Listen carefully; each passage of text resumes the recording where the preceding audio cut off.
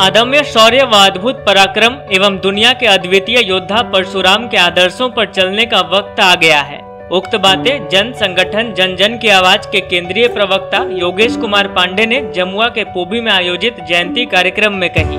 कार्यक्रम का आयोजन कोविड प्रोटोकॉल को देखते हुए किया गया था। कार्यक्रम स्थल पर महज पाँच लोग ही थे। ऑनलाइन सभी सदस्यों से वे मुखातिब थे। कहा कि देश को शस्त्र भी चाहिए और शास्त्र भी।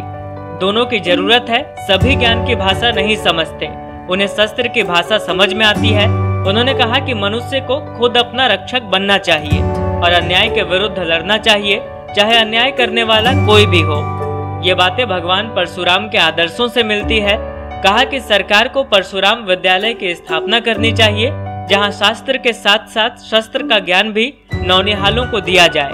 कार्यक्रम में गोपाल कृष्ण पांडे, नितेश सिन्हा शिवशंकर पांडे, रजनीश पांडे, श्रीराम पांडे, कमलेश, राम पप्पू भी थे। भगवान परशुराम, अमर रहे। भगवान परशुराम, अमर रहे। भगवान परशुराम, अमर रहे। भगवान परशुराम, अमर रहे। भगवान परशुराम की जय हो। कोरोना की क्षय हो। भगवान परशुराम की जय हो। कोरोना की क्षय हो। आज पूरा विश्व में स्नातनियों के द्वारा भगवान विष्णु का छठा अवतार भगवान परशुराम जी की जयंती मनाई जा रही है। वर्तमान परिप्रेक्ष्य में कोरोना जैसे भयंकर महामारी है। इस मद्देनजर लोग अपने अपने घरों में ही शालीनता पूर्वक मना रहे हैं। भगवान परशुराम जो भी अहंकार करते थे, अहंकार का उन्होंने संहार किया। रामायण एक ऐसा हम सबों के धार्मिक ग्रंथ है, जिसमें से भारतीय सभ्यता संस्कृति संस्कार और त्याग, बलिदान, अपनापन, मानवता का सकारात्मक संदेश मिलता है। इसका अध्ययन लोगों को करना चाहिए।